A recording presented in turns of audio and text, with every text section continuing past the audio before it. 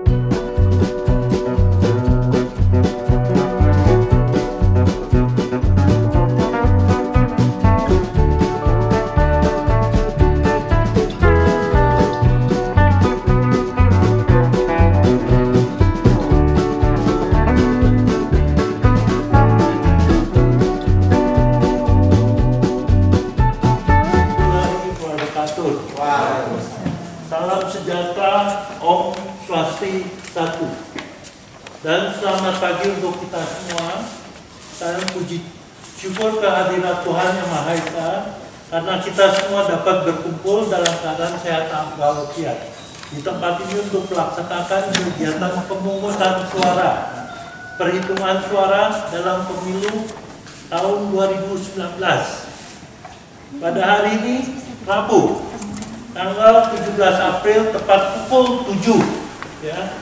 Karena para saksi pengawas TPS pemilih telah hadir di tempat ini maka kita akan segera memulai kegiatan pemungutan suara dengan mengucapkan sumpah janji KPPS demi Allah. Demi Allah, saya bersumpah. Saya bersumpah. Atau berjanji. Atau berjanji. Bahwa saya akan memenuhi tugas. Bahwa saya akan memenuhi kewajiban saya sebagai anggota KPPS dan kewajiban saya sebagai anggota KPPS dan petugas ketertiban TPS dengan sebaik-baiknya. Dan petugas ketertiban TPS dengan sebaik-baiknya. Sesuai dengan peraturan perundang-undangan dengan berpedoman pada Pancasila. Sesuai dengan peraturan perundang-undangan dengan berpedoman pada Pancasila dan Undang-Undang Dasar Republik Indonesia tahun 1945 dan Undang-Undang Dasar Republik Indonesia tahun 1945 bahwa saya dalam menjalankan tugas dan wewenang akan bekerja dengan sungguh-sungguh.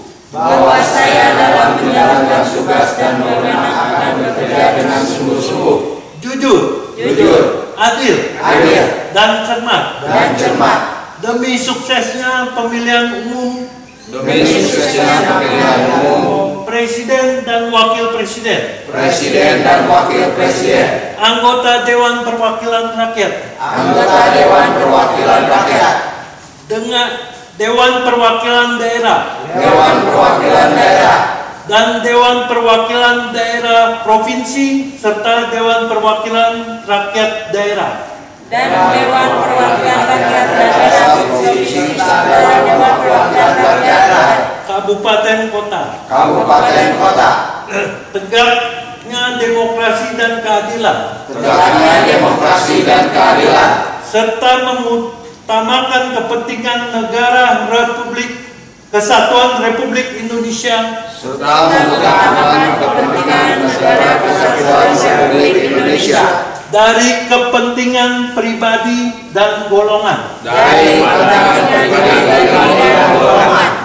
Nah, selanjutnya kami akan membuka kotak suara dan memeriksa kelengkapan untuk kita mulai. Ya.